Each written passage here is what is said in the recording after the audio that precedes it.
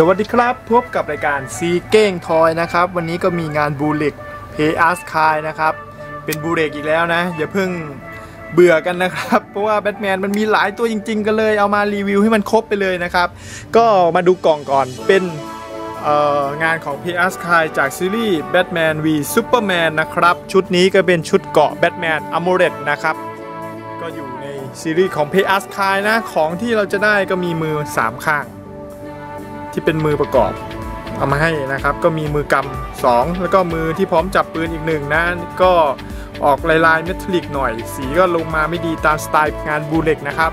มาดูที่ตัวโมเดลกันเลยดีกว่านะครับ ตัวนี้ผม action ใส่ปืนไว้นะ สังเกตสีนะครับ สีสีของแบทแมน Armored ก็จะประมาณนี้นะ ก็เป็นเหมือนชุดเกราะหนักนะครับ ไว้บู๊กับซูเปอร์แมนนะ เรามาดูจุดขยับกันก่อนดีกว่านะครับ ผม action ท่านี้ไว้ จุดขยับอะกางมือออกก่อน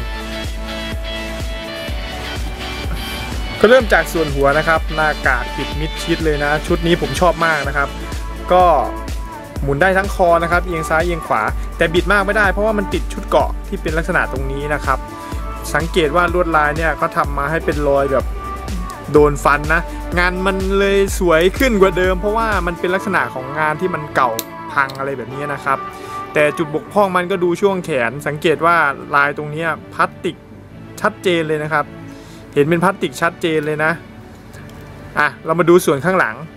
ข้างหลังผ้าคลุมนะครับเขาทำสีออกมาแบบมุนๆให้มันเหมือนเปื้อนฝุ่นนิดๆนะก็เป็นยาง PVC นะครับตรงนี้ก็เช่นเคยนะครับ ด้านหลังก็จะเป็น2จอยไว้บิดผ้าคลุมขึ้น ประมาณนี้นะบิดขึ้นบิดลงบิดซ้ายบิดขวาทำท่าแอคชั่นกระโดดอะไรแบบนี้นะ ส่วนหัวไหล่นะครับ หัวไหล่ตัวนี้กลางได้ระดับการกลางก็จะได้ประมาณนี้นะครับ แล้วก็เป็นลักษณะจุดหมุนจุดหมุนอยู่ช่วงนี้ จะไม่เหมือนในตัว Arkham Knight นะ ที่แบะออกมาอันนั้นน่ากลัวหัก แต่ตัวนี้ก็จะเป็นจุดหมุนช่วงนี้นะครับ แล้วก็หมุนช่วงต้นแขนตรงนี้นี่นะ หมุนช่วงนี้นี่นะนิดนึงผมก็ไม่กล้าหมุนแรง ส่วนจอยก็เป็นแบบ1 step ครับหมุนอย่างนี้ ได้เสียงแก๊กแก๊กแก๊กก็คือเป็นตัวดันไม่ให้แขนมันอ่อนแรง เวลาเรายกเราอะไรอย่างนี้นะครับ ข้อมือเหมือนกันครับ ตรงนี้ก็หมุนได้รอบเลยเพราะว่าเป็นจอยสามารถถอดเปลี่ยนมือได้ ก็หมุนขึ้นหมุนลงนะครับ ประมาณนี้นะในส่วนของแขนนะครับ ทั้งสองข้างเหมือนกันนะส่วนลำตัวตรงนี้จะเป็น PVC ยาง กันพลาสติกอยู่ตรงนี้นะครับนะสามารถงอได้ประมาณนี้แต่มันไม่อยู่ทรงนะ งอปุ๊บด้วยผ้าคลุมมันหนักก็กลับมาคืนบิดได้นะครับ บิดได้จัดท่าได้ ส่วนเอวก็จะมีอุปกรณ์นะครับแหมผมก็คิดว่าซองบุหรี่นะ เหมือนซองบุหรี่มากเลยนะครับ มาถึงจุดช่วงขาโคนขาตรงนี้สีเนี่ย ชัดเจนมากเลยว่าพลาสติกจ๋าเลยนะครับ เพราะว่ามันเงาแสงแล้วก็ลาย texture เนี่ยไม่คมนะ ไม่คมเลยนะ ก็เหมือนเดิมเช่นเคยครับ ขยับขึ้นได้ประมาณนี้นะครับ จุดบอดของงานจีนก็คือช่วงขานี่แหละนะ เพราะว่ามันจัดท่าอะไรไม่ค่อยได้ หัวเข่านี้ก็ 2 step เช่นเคยนะครับ step บนแล้วก็ step ล่าง นี่สามารถใส่ท่าใส่เข่าได้แบบนี้ นี่นะพุ่งแบบนี้ ส่วนเท้าตัวนี้นะครับก็มีปลายเท้าสามารถงอขึ้นได้ แล้วก็หักขึ้นช่วงข้อเท้าได้ประมาณนี้นะครับ ก็เป็นจุดขยับคร่าวๆของแบทแมน Armored นะครับ สังเกตดูว่า เดี๋ยวผมจะตั้งให้ดูเลยว่าจุดบอดของงาน bootleg ตัวนี้มันเป็นอะไร คือมันเป็นทุกตัวแหละ งานที่เกี่ยวกับข้อต่อของจีน นี่ผมจะ action ขาตรงนี้นะ อ้าวจัดสมดุลก่อนนะครับ ผมขาตรงนี้นะ จัดบาลานซ์อะไรแล้วนะ จัดแล้วนะ จัดนะดูนะหนึ่งสองสามเป็นไงครับ คือข้อเนี่ยสังเกตว่าจอยมันจะไม่ดีครับ จอยมันนไหมผมวางก็จะห่างออกนะก็ต้องจัดท่าให้โน้มตัวไปข้างหน้า แล้วขานี้ก็ต้องช่วยประยุงแล้วก็ใช้ผ้าคลุมนะครับ ช่วยส่วนมือก็ต้องโน้มมาข้างหน้า เพื่อช่วยจับ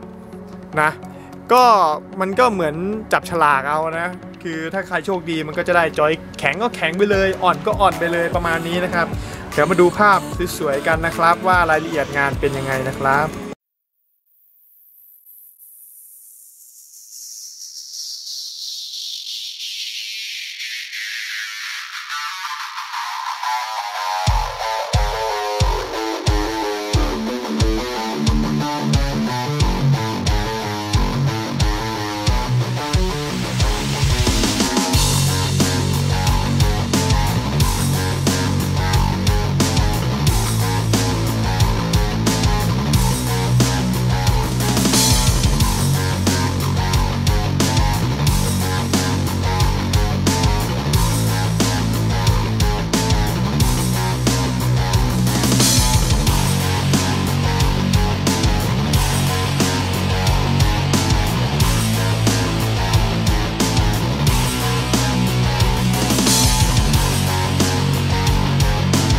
โดยรวมก็จะประมาณนี้นะครับคร่าวๆนะงานบูเรกเนี่ยส่วนใหญ่งานจะไม่เกิน 1,500 บาทนะครับราคานี้นะก็ข้อต่อก็อย่างที่เห็นนะครับ ตัวนี้ข้อต่อแย่มาก งานจีนที่จริงข้อต่อแย่ทุกตัวนะครับก็ซื้อมาเพื่อศึกษานะครับ ยังไงรายการจิกเก้งทอยก็รีวิวนะครับแบทแมนอมูเรตนะครับเวอร์ชันแบทแมน v ซูเปอร์แมนนะครับจาก Down of Justice นะครับสำหรับวันนี้ลาไปก่อนสวัสดีครับ